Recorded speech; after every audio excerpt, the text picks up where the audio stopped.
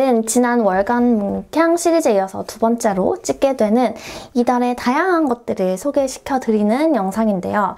제가 9월에 딱히 큰 이벤트, 막 이슈 이런 게 없었어요. 그래서 이번에는 9월과 10월을 합쳐서 월간 문캉을 찍어보기로 했습니다. 첫 번째로는 이달의 맛집 코타 바이견을 소개시켜 드리려고 해요. 코타바이어는 압구정에 있는 한식 dining인데요. 거기서 살짝 비틀어서 한식 pub dining이라고 이제 보면은 다양한 우리나라 전통주들, 우리나라 뭐 막걸리, 청주, 뭐 와인까지 다양한 술과 pairing을 하면서 즐길 수 있는 그런 음식점이에요. 제가 그날 이제 먹었던 메뉴들 그리고 간단한 소개가 이제 적혀있는 팜플렛을 집에 들고 왔는데 갔더니 여기 제 이름과 함께 위에 조그만한 꽃갈콘이 씌워져 있는 이모지도 붙여주셨어요. 그래서 뭔가 굉장히 특별한 날 대접받는 기분이었고 저랑 오빠는 이 중에 가장 기본적인 코스인 코타 기본 막김 차림 코스를 먹었는데요.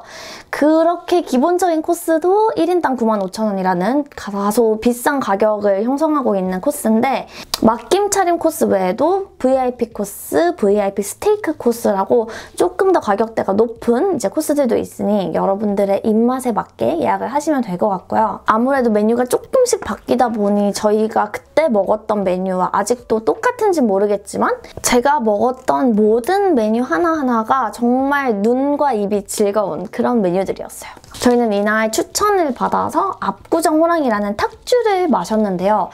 이게 저희가 일반적으로 알고 있던 그런 막걸리의 느낌보다는 이 막걸리와 청주의 사이 그 어딘가에 있는 굉장히 맑은 탁주라는 느낌이 들었어요. 그래서 크게 호불호 타지 않고 누구나 정말 가볍게 맛있게 즐길 수 있는 막걸리일 것 같아서 가시게 된다면 이 압구정 호랑이 한번 드셔보셨으면 좋겠고요. 제가 진짜 놀랐던 거는 모든 코스 하나하나 모든 메뉴 하나하나가 정말 플레이팅에 진심인 곳이거든요. 그 중에 특히 꿀단지라고 이제 총 4층으로 이제 구성되어 있는 꿀단지가 나왔는데 층별로 참치 타르타르, 백모기 버섯튀김, 아구간과 단새우 김부각, 푸아그라, 홈런볼 평소에는 잘 접하지 못했던 식재료들이 이렇게 너무 맛있게 요리가 돼 있어서 정말 처음부터 끝까지 너무나 맛있게 즐겼던 그런 코스였어요.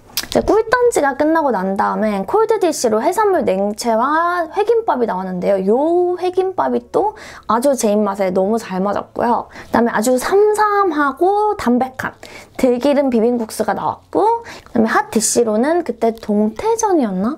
아무튼 생선전이 하나가 나왔고요. 새우 만두, 무장아찌, 조개 젓국 그래서 전체적으로 뭔가 자극적이라던가 부담스럽지 않은 굉장히 깔끔 깔끔하고 가볍게 들어갈 수 있는 메뉴로 구성이 돼 있더라고요. 그다음 main dish로 트러플 감자전, 한우 채끝 등심 육전 옆에는 사이드로 부추랑 메추리 장이 나오는데 메인 디쉬도 하나같이 다 너무 잘 나오고 이게 95,000원이라는 비용이 전혀 아깝다고 생각이 들지 않을 만큼 맛있고 정말 보기가 예뻤어요. 여기서 끝나는 게 아니라 마지막 이제 식사로 LA 갈비랑 용대리 황태 해장국 이라는 메뉴가 나오는데 저희가 이제 한 두시간에 걸쳐서 술 한 병을 쫙 마셨잖아요. 그래서 살짝 알딸딸한 그 느낌이 올라올 때쯤 해장국으로 마무리하니까 아 너무 정말 한 끼 식사가 너무 완벽했다라는 느낌이 들더라고요. 그래서 코타바이려는 서비스, 맛, 분위기까지 다 잡은 곳이라서 부모님과 함께하는 특별한 날이라던가 조금 더 나이대가 있으신 분들과 식사 대접을 할 때 이건 정말 최고의 선택지 중에 하나가 아닐까 하는 마음으로 여러분들께 추천을 드려봅니다. 다음은 이달의 와인바를 소개시켜 드리려고 합니다. 지금까지 가봤던 뭐 와인바, 마셔봤던 와인은 정말 셀 수 없이 많을 텐데 코타바이령과 조금은 다르게 최근에 갔던 곳 중 가성비 갑인 곳이 이곳이 아닐까 해서 여러분들께 꼭 알려드리고 싶었어요.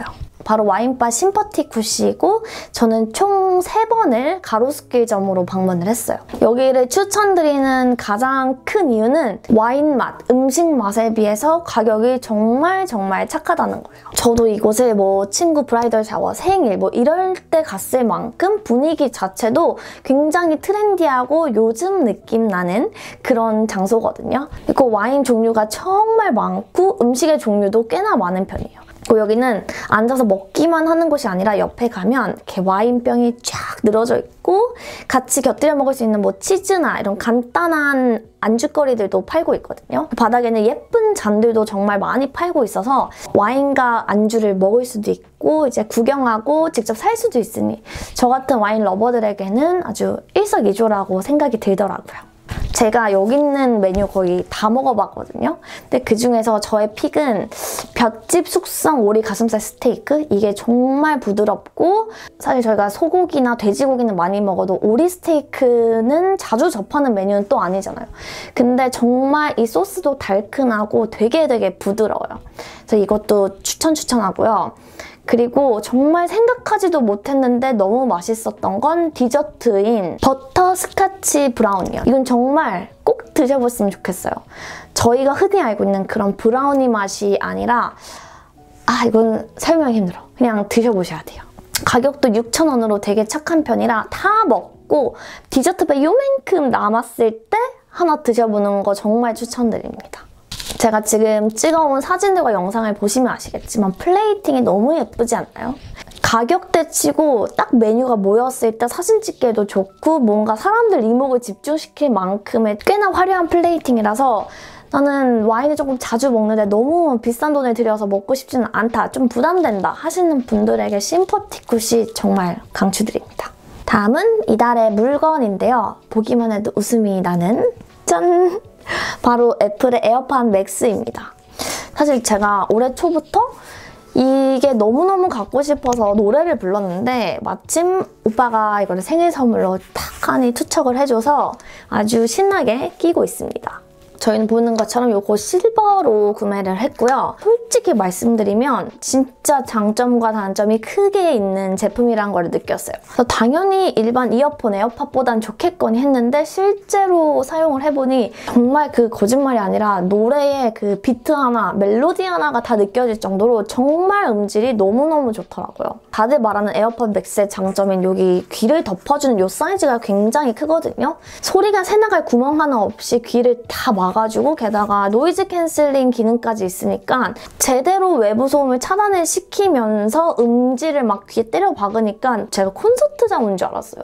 그 정도로 음질이 생각보다 너무너무 좋았다라는 게 가장 큰 장점이자 제가 놀랐던 점이고 이제 단점을 말해보자면 생각보다 많이 무겁더라고요. 이렇게 끼면은 저는 여기 머리 위쪽이 살짝 애린다고 해야 되나?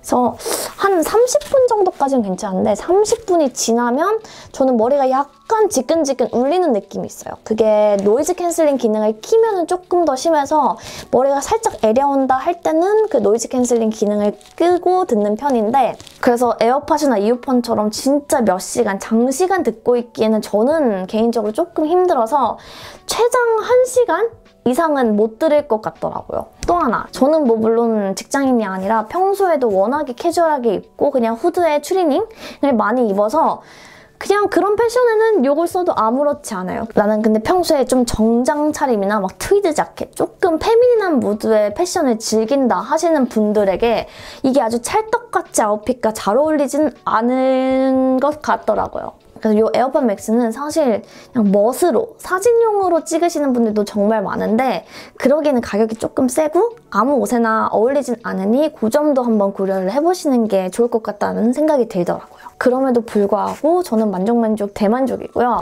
저한테는 단순히 그냥 멋부리기용 이상으로 저의 취미생활을 한층 업그레이드 시켜준 아이템이라서 저는 개인적으로 너무너무너무 만족하는 제품이에요. 다음은 이달의 책인데요. 제가 평소에 너무너무 좋아했던 유튜버 가정주부 및 말 많은 소녀님으로 활동하고 계시는 최서영님이 이렇게 쓰신 책이에요. 제가 얼마 전에 교보문고를 갔는데 베스트셀러에 이게 떡 하니 있더라고요. 굉장히 힘을 주는 듯한 그런 메시지를 담고 있는 책일 것 같아서 바로 구매를 했어요. 근데 뭔가 첫 장부터 굉장히 스윗한 게 여기 보면은 잘 될 수밖에 없는 땡땡땡님께 이 책을 선물합니다. 뭔가 친구에게 선물하기도 좋고 요즘 뭔가 고민거리가 있어 보인다. 조금 힘들어하는 친구가 있다. 이런 친구에게 힘내라는 그런 응원의 메시지로 이렇게 선물해서 주기도 참 좋을 것 같다는 생각이 들더라고요. 처음에 제가 관심이 갔던 이유는 저도 이제 유튜버라는 조금 특수한 직업을 갖고 되게 많은 이런 고민과 되게 많은 생각들을 갖고 사는데 이 최서영 님도 본인이 이제 유튜버가 되기까지 그리고 그 전에 회사원으로 살다가 이제 유튜버로 전환을 하면서 겪었던 많은 시행착오들 그런 거를 이제 이 책에 다 쓰면서 어떻게 지금의 조금 굳건하고 지금의 멘탈 좋은 이런 나로 거듭을 했는지 쓰신 책이거든요. 그래서 이 책은 읽으면서 좀 확실히 힐링을 받는 그런 책이고 좀 내가 지금까지 어떻게 살아왔고 그리고 약간 가치관을 다시 한번 생각해 볼 수 있는 그런 계기가 될 것 같았어요. 그래서 좀 생각을 정리하시고 싶은 분들에게도 정말 추천드리고 어렵지 않게 접근이 가능할 것 같은 책이더라고요. 그래서 이달의 책은 요 잘 될 수밖에 없는 너에게 라는 책을 한번 꼽아봤습니다.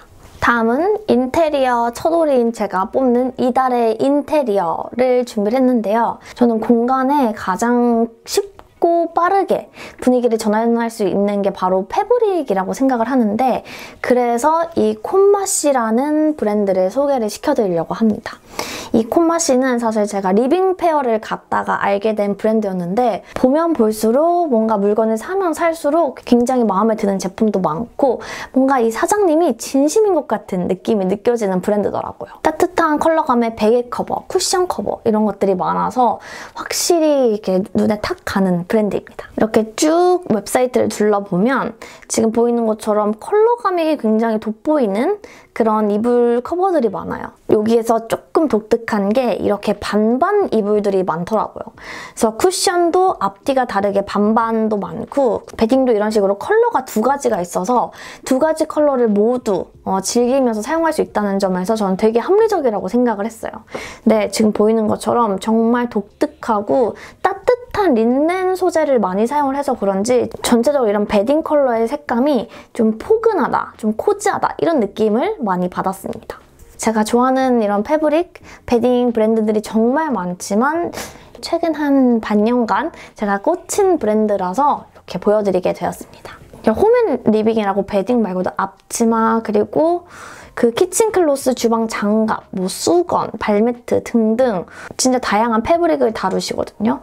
그리고 이렇게 two tone 커튼 같은 것도 있어서 여러분들이 이리저리 뭐 구경하시면 되게 좋을 것 같아요. 제가 마무리 멘트를 깜빡하고 촬영을 마쳐서 다음날 다시 같은 옷을 입고 카메라를 켰는데요. 저희 두 번째 월간 문캉도 여러분께 많은 도움이 됐으면 좋겠고요. 앞으로 이렇게 뷰티 패션 외에 다양한 정보, 저의 취향 가득한 이런 컨텐츠들을 여러분들과 공유를 할 테니까 많이 많이 봐주세요.